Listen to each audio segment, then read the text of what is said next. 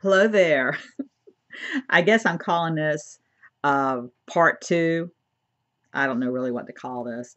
Um, but anyway, I was I started out with discussing the oil, and I and like I said in the the previous video, how much my daughter loves this. I I know now why. Stuff is fantastic.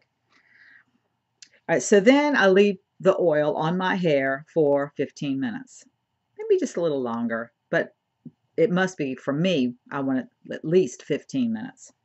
Then I go to wash my hair. And what I love about this stuff is that it don't take much at all to get a lather, period. You don't have to pour it on. What you do is the one thing I really like about this, of course I like the whole, all of it, but is the way that this is. You just simply, you just simply turn it and then there's a hole and then you just squeeze it and you get you just put out like maybe a dime's worth on the palm of your hand. That's all you need to wash your hair. All right so then I, they they suggest that you leave it on your hair for you know after you get a good suds and you get it in you know really washing it. Leave it on for two to three minutes rinse it out and then reapply again so if you add a dime and a dime, maybe at the most you're just filling up your your whole palm here, right here, this little part right here, and that's nothing. I mean, that's that's not you know that's not even. I don't even look at that being like when some of these other products with the lid, you know, the little tops and stuff, and you fill it out, you fill up the top.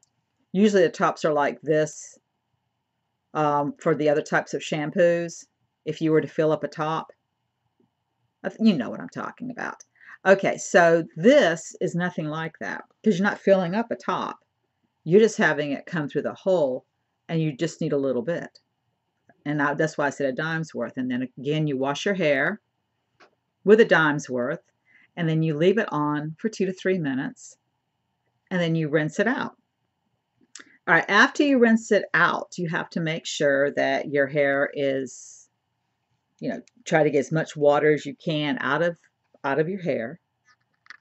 Then you're ready for the intense repair conditioner.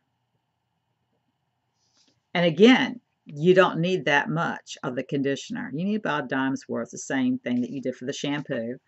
All right, and then you get it in your hair, you know. For me, my hair is hanging down like this, so that I'm, you know, making sure that it's going through the, the hair and then the scalp. And then they say you can rinse it out like immediately. I wait about a minute before I actually rinse it out. And then after that, time for the towel. And then I go ahead and I wrap my hair until I am ready to go ahead and comb my hair out. All right, so please come back. Find out what happens next. I don't think this is the most exciting thing that you've ever watched, but um, if you're interested to see what happens next, please come back. All righty.